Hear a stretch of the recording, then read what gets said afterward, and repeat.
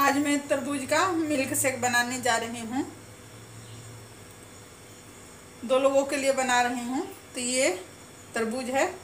इसको काट लेंगे छोटे छोटे टुकड़े में। जैसे चाहे वैसे आप काट सकते हैं।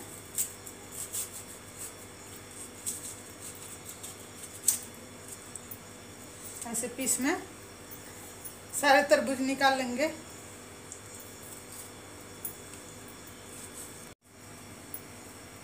पूरा पीस पीस में काट ली हूँ। अब इसके बीज को निकाल देंगे।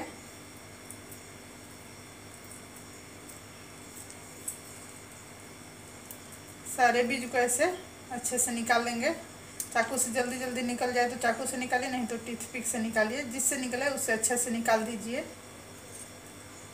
देखिए, और मिक्सी के जार में डालते जाएँगे।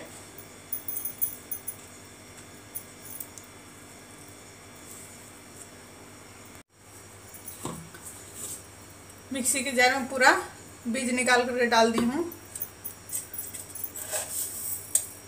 इसमें चार चम्मच चीनी डाल दूँगी।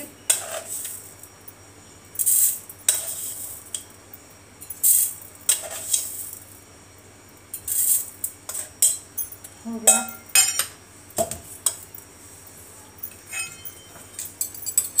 ये आइस है, इसको डाल देंगे।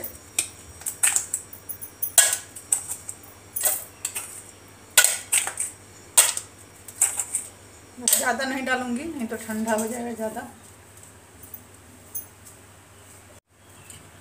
दूध है, मलाई से ही डालेंगे दूध।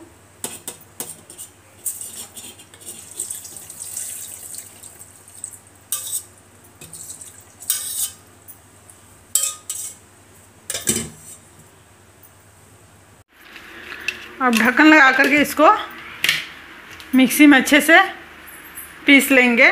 बिल्कुल बारीक।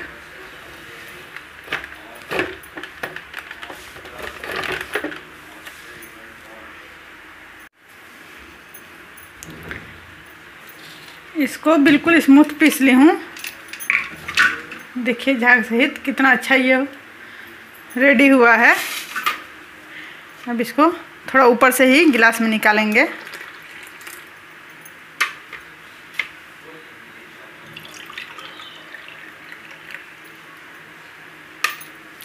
देखिए रेडी हो गया।